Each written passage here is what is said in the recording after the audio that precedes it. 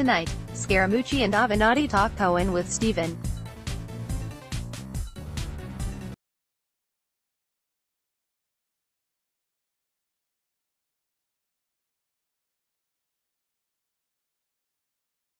The New York Daily News has reported that Cohen is telling friends he expects to be arrested in an investigation that is reportedly focusing on bank fraud, campaign finance violations and other issues. Also on Wednesday, Cohen's attorneys indicated they would stop representing him.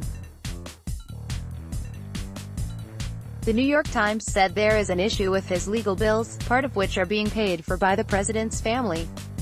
Avenatti appeared on Colbert's Late Show, with Anthony Scaramucci, who served as White House Communications Director for 10 days last summer. Download